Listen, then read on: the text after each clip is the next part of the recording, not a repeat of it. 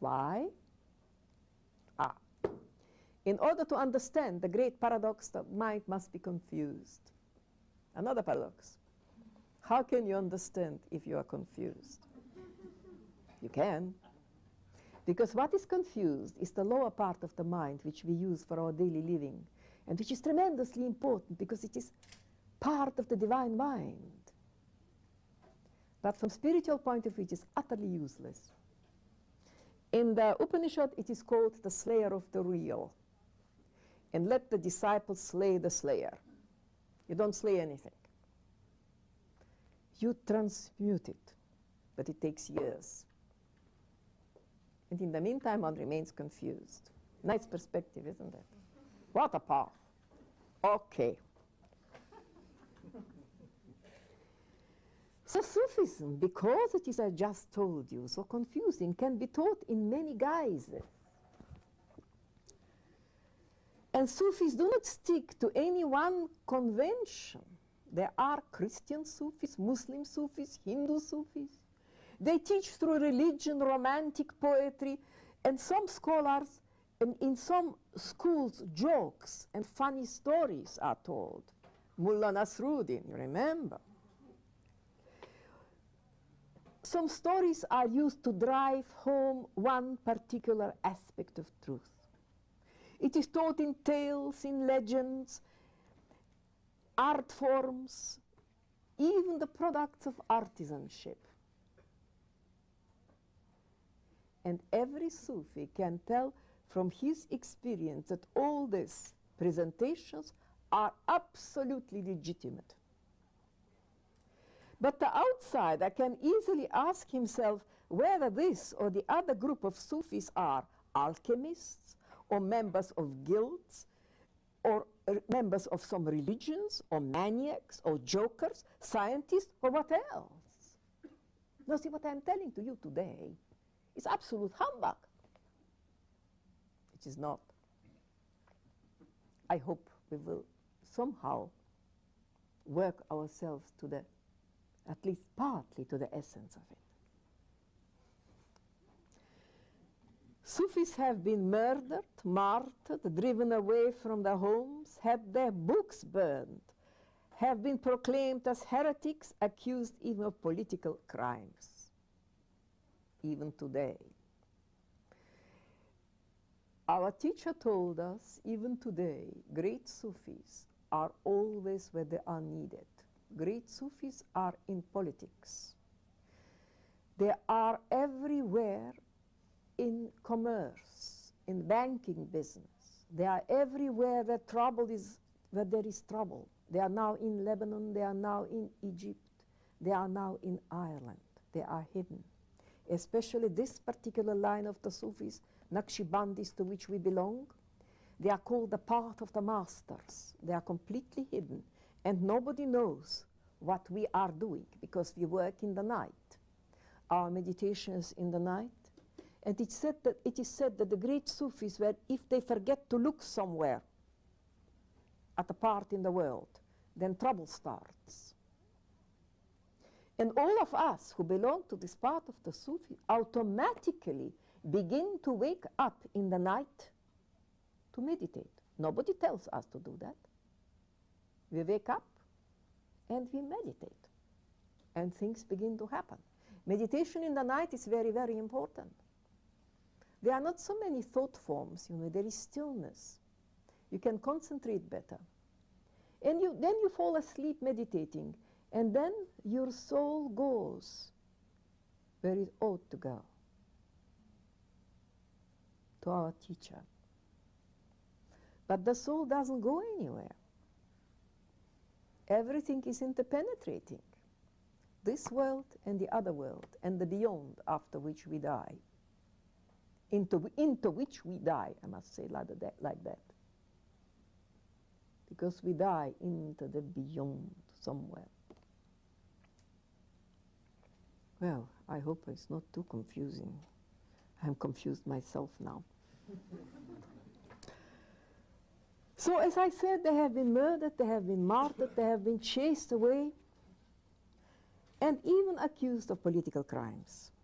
But They are gentle people, practicing harmlessness.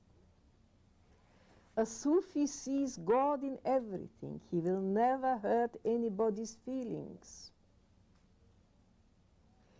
He'll never give bad, a bad example. He is kind to everybody.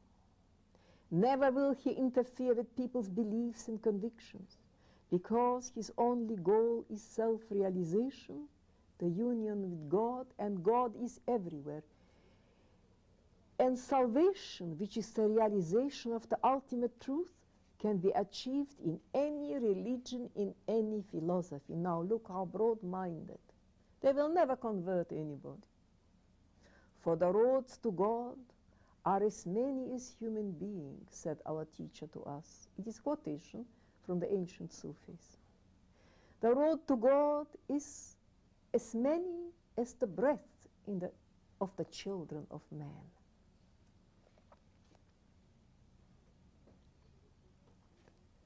So you see, there is no need to convert anybody.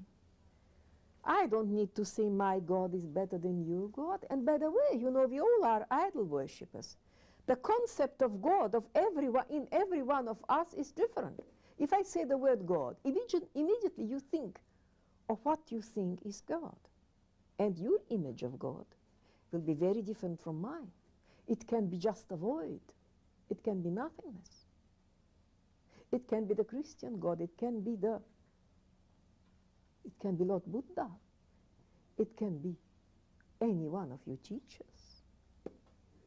Because in Hinduism, they say the teacher is like God, he's God. Somebody asked Kabir, who is greater, your guru or God? And Kabir answered, for the moment, my guru, because it is he who will take me to God. Relative, everything is relative in life. Here we are back to Einstein again, eh?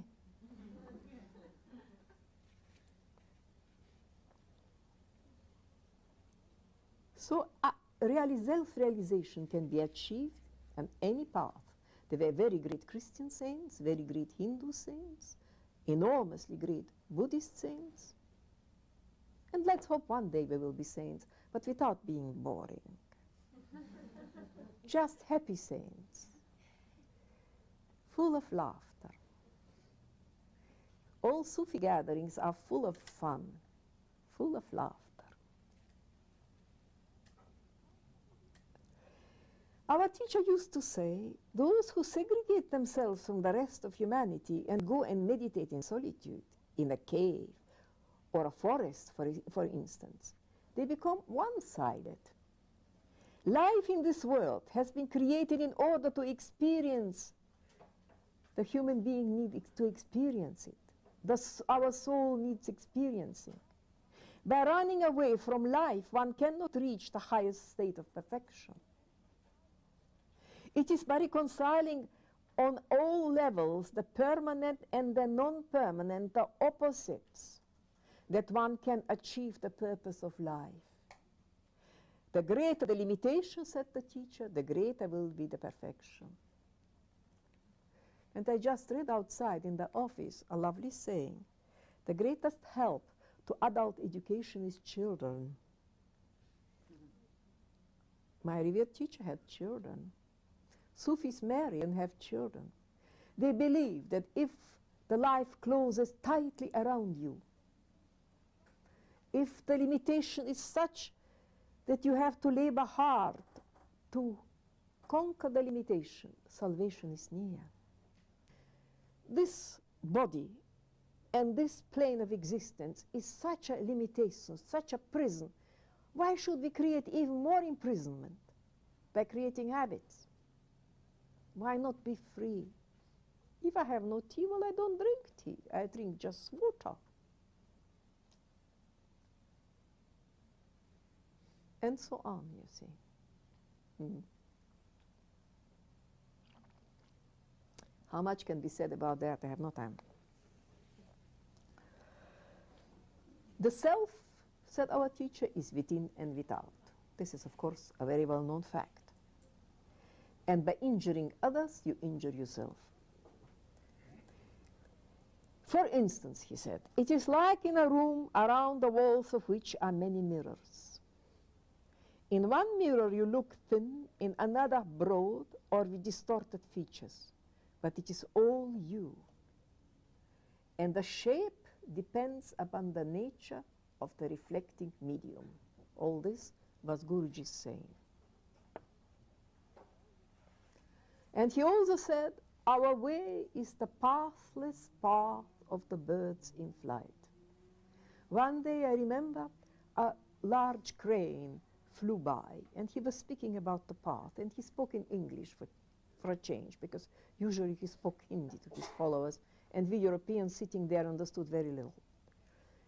And he spoke about the path and he said, pointing to the crane, can you say exactly where he flew just now? Exactly. Nobody, of course, could. He said, Our path is the pathless path of the birds in flight. You cannot define it. Look what a saying. It is tremendous saying. Our path is the pathless paths of the birds in flight. It's poem, it's trackless. That's poetry, really.